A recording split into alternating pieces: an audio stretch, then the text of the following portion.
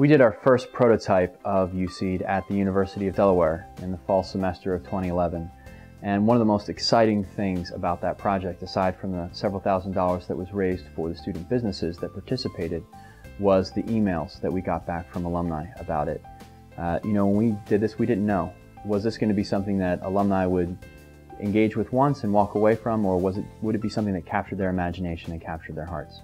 And the emails we got let us know that this was definitely something that was connecting with people. Um, whether they were donors of their time or their money, they all said that they wanted to be more involved with the students they helped and with the next round of students. Uh, so we look at that as a promising indicator that uh, universities are going to be able to uh, expand as they roll out USEED to cross campus to various programs, and people are going to be intrigued to see what they put up.